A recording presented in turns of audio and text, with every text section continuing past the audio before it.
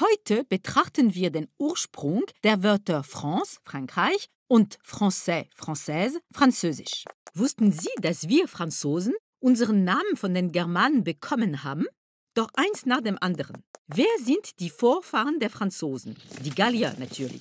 Allen voran Asterix und Obelix. Weniger bekannt ist, dass wir Franzosen vor nicht allzu langer Zeit selbst beschlossen haben, dass unsere Vorfahren die Gallier sind. Und das, obwohl Gallien gar keine klar definierte Einheit ist.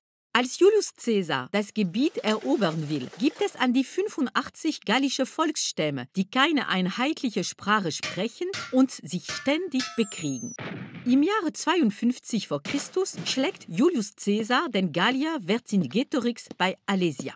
Daraufhin wird Gallien befriedet, was heißt, dass es unter römische Vorherrschaft gestellt wird.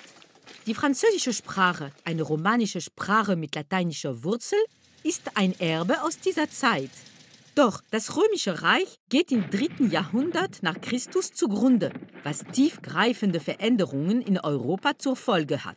Weil die römische Legion geschwächt ist, fallen die germanischen Volksstämme und die Völker Zentraleuropas ins ehemalige römische Reich ein und plündern es. Da sind die Franken, die Alemannen, die Sachsen, die Hunnen, die Awaren, die Bulgaren, die Goten und die Vandalen, um nur die wichtigsten zu nennen.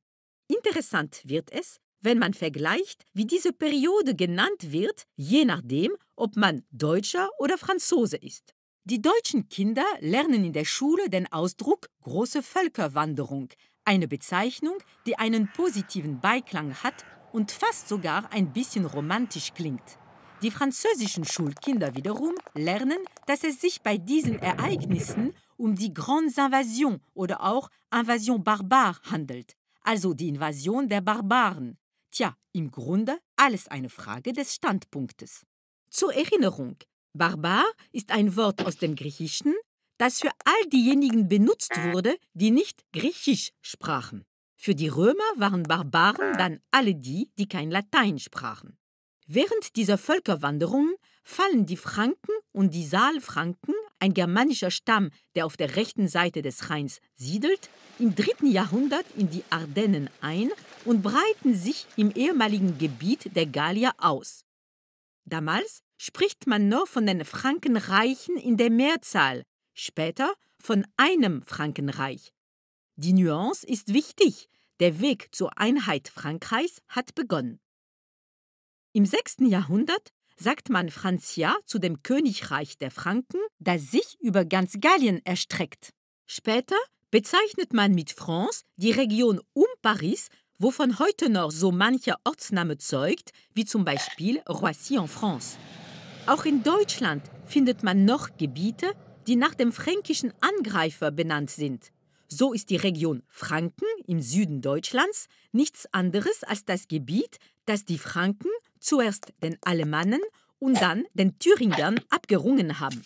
Im Mittelalter sagt man noch Franc zu den Bewohnern Frankreichs. Das Wort Français, also Französisch, taucht erst 1080 als Français auf, und zwar im Rolandslied, diesem großen Epos, das von den unglücklichen Kämpfen des Ritters Roland berichtet. Nach und nach wird Français zu François und dann zu Français. Übrigens, Frank oder Frankus heißt ursprünglich frei oder auch kühn überlegen, ohne dass man mit Bestimmtheit sagen kann, ob das Wort seine Bedeutung aufgrund des Charakters der Franken bekam oder ob die Franken ihres Charakters wegen so genannt wurden.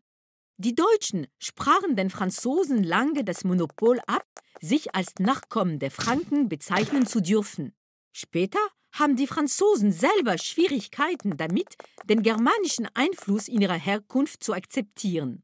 So lassen nach der Niederlage von 1871 und des darauffolgenden antideutschen Ressentiments die französischen Historiker die Gallier wieder aufleben. Die perfekten Vorfahren. Nein, die Gallier sind nicht blutrünstig wie die Franken, sondern leisten den Römern tapferen Widerstand, wie ihr Chef Vercingetorix, der plötzlich zum Nationalhelden wird. Eine Ideologie, die später von Asterix und Obelix verstärkt wird. Und dennoch, das Erbe der Franken ist wesentlich für uns. Ihnen verdanken wir die Grundlagen unseres französischen Staates. Und die französische Sprache besitzt eine ganze Anzahl von Wörtern, die aus dem Francique, dem Fränkischen, stammen. Beispiele? Être, Buche, kommt von estre, Fauteuil, Sessel, von Fadistol, Framboise, Himbeere, von Brambes, Bleu, Blau, von Blau und so weiter.